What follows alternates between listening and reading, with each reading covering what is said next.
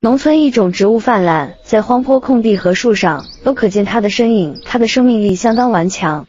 农民伯伯把它的藤蔓砍来烧掉，但是每年都生长旺盛。如果不及时处理，还会长到庄稼地里来。它就是让人讨厌的葛藤。很多人不知道它的价值珍贵。它的块根在扶桑国可是皇室特供食品。那它有何价值呢？我们一起来简单了解一下。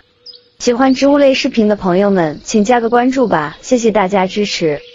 葛藤呢是粉葛及野葛的地上藤蔓部分，常匍匐生长或缠绕在树上，是豆科葛属多年生落叶藤本植物。形态特征：葛藤有黄褐色短硬毛，总状叶生花序，三出复叶长柄，托叶长椭圆形。葛藤肥大的肉质块茎为可食部分，是药食同源的健康食品，用它制成淀粉。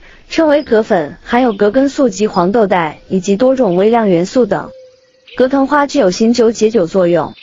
传说中的千杯不醉，指的就是葛藤花。应酬场上的人们喝酒前后，不妨试试葛藤花泡水喝，对身体的伤害会大大降低。这种葛藤花虽然对于经常应酬的人有一定的帮助，但是喝酒虽好，也不要贪杯。为了自己，也为了家人，要好好保重自己。适度饮酒，酒后不开车，才是好宝宝。